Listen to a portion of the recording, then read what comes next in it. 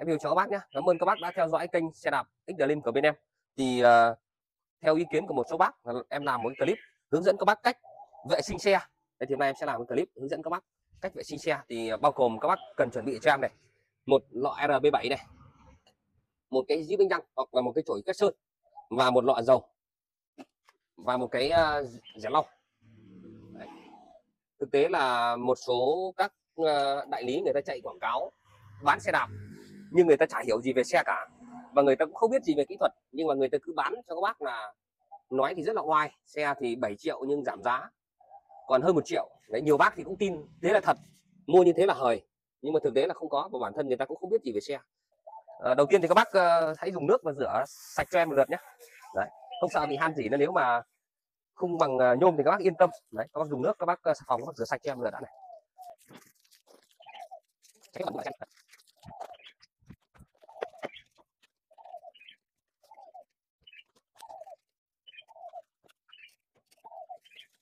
OK。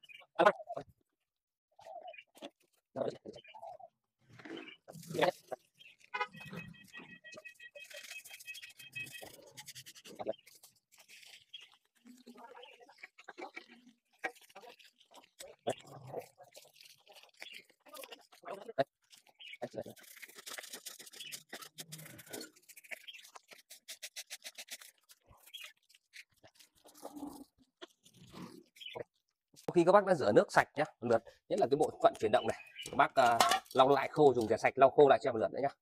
Đấy lau khô lại cho em một lượt này. Khô hết lại cho em nha. Đấy. Khô lại này. Khô lại một lượt cho em nha từ cái đũa. Các bác cũng phải lau khô sạch hết. Nhất là các bộ phận chuyển động này.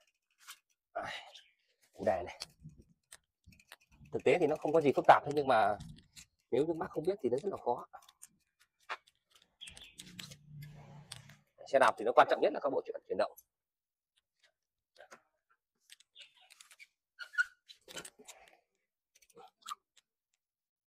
Rồi bước tiếp theo này. Các bác uh, dùng RP7 nhá. Bác xịt sạch em vào sạch bảo dưỡng hết cho em cái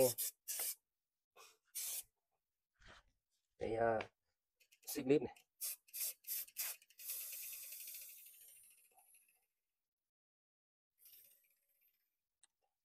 Củ đè này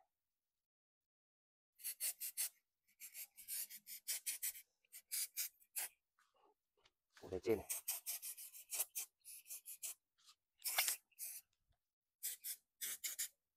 đó. Nó bác lại lau sạch cho em lần nữa này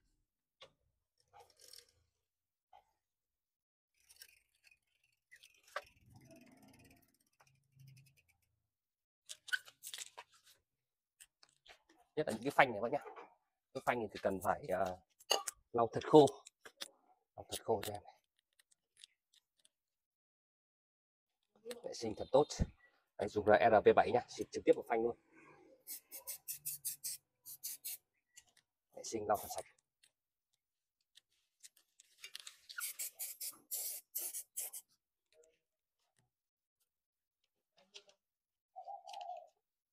Lưu ý các bác phải vệ sinh sạch sẽ hết các ừ, những cái nhỏ nhá từ những cái kẽ nhỏ này quá lên động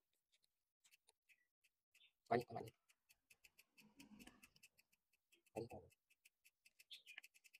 rồi cả vào những ổ trục này. Đó. Lưu ý làm sao không được để nó chảy ra, ra bánh nhá.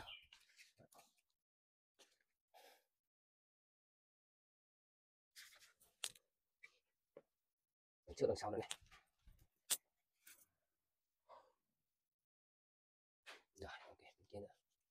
Bàn đạp này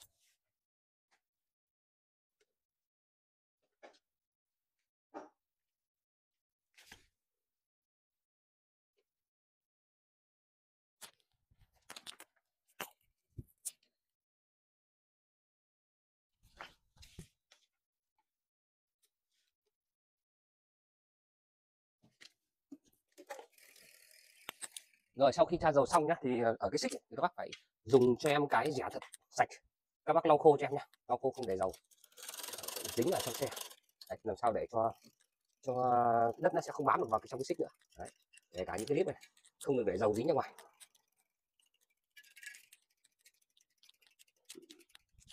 Vừa rồi thì em đã hướng dẫn các bác vệ sinh cái xe đạp nó một cách sơ lược nhé còn trong cái quá trình mà các bác uh, đi xe mà các bác muốn vệ sinh sâu hơn một chút nữa thì các bác nên ra thợ để người thợ người ta sẽ tháo hết ổ bi ổ đạn đặc đạn này người ta sẽ thay cho các bác nhé và tra dầu tra mỡ thì định kỳ thì nếu các bác sử dụng nhiều thì một năm các bác sử dụng bảo dưỡng cho em hai lần còn các bác mà đi ít thì một năm các bác bảo dưỡng sâu cho một lần còn thường xuyên các bác phải sửa này phải phải uh, rửa và vệ sinh qua như này cho em hai nữa là những cái trong quá trình sử dụng này, các bác phải thường xuyên siết lại những cái ốc dây này này đấy dây này này còn những cái này ốc này là ốc cữ các bác không phải siết nhé những ốc này các bác thường xuyên siết lại cho em đấy, xin chào các bác nhé. Bác nào còn thắc mắc gì cứ liên hệ trực tiếp với đại lý bên em. Em sẽ à, tư vấn và, và hướng dẫn cho các bác. Rồi chào các bác.